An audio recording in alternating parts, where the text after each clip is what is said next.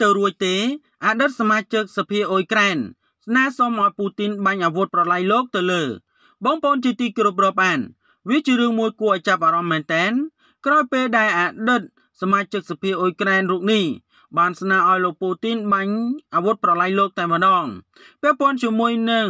អាវុធប្រឡាយលោកដែលជាអាវុធមួយដែលមានគ្រោះថ្នាក់បំផុតសម្រាប់ពិភពលោកដែលអាចបង្កហានិភ័យខ្ពស់ស្របពេលដែលរុស្ស៊ី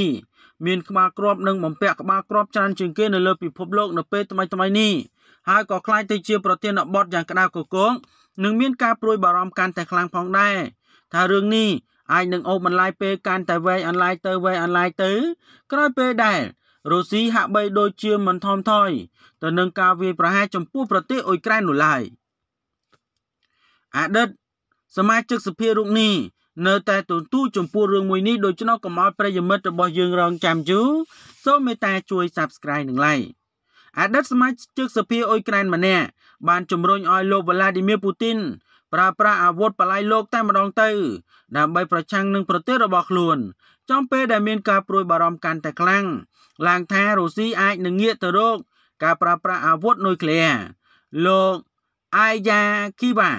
អ្នកយោធា អ្នកនយោបាយមកពីគណៈបកប្រឆាំងដែលត្រូវបានហាមឃាត់និងពីសភាដោយសារតែគ្រប់គ្រងការលុកលុយរបស់រុស្ស៊ីនិងបានបង្ហោះការអំពាវនាវនេះទៅកាន់ Channel Telegram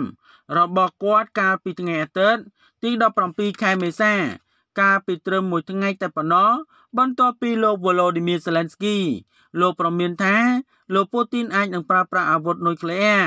ក្រោមភាពនៃករណីផ្ទុះអាវុធនុយក្លេអ៊ែរលោកគីវ៉ាលោកបានសរសេរថាចូលចងចាំ គេខ្លាចហើយគោរពតែអំណាចប៉ុណ្ណោះលោក Zelensky អ្នករួមដំណើររបស់គាត់និងអ្នកអភិរក្សលោកខាងលិចខ្លាចបំផុតនោះគឺការវាយប្រហារដោយប្រើប្រាស់អាវុធប្រឡាយលោករបស់រុស្ស៊ីនេះជាអ្វីដែលអាចបញ្ចប់ចំពោះការប្រឈមមុខដាក់គ្នា នៅក្នុងពេលបច្ចុប្បន្ននេះនឹងបានមិនត្រឹមតែជាមួយនឹងអាញាធរអ៊ុយក្រែនប៉ុណ្ណោះទេប៉ុន្តែជាមួយនឹងលោកខាងលិចទាំងមូលនឹងដែលបានចូលរួមយ៉ាងសកម្មនឹងបើកចំហនៅក្នុងថ្ងៃនេះនៅក្នុងចំនួនយោធារបស់អ៊ុយក្រែនផងដែរលោកបានបន្តថា ប្រសិនបើនរណាម្នាក់គិតថា ការធ្វើបែបនេះគឺមិនស្របទៅតាមច្បាប់ សូមចាំថា ប្រទេសលោកខាងលិចនឹងបានសរសេរច្បាប់ទាំងអស់នេះ ដើម្បីផលប្រយោជន៍របស់ខ្លួន ហើយគ្រាន់តែដើម្បីបំផ្លាញអ្នកដែលខ្លាំងជាងខ្លួនតែប៉ុណ្ណោះ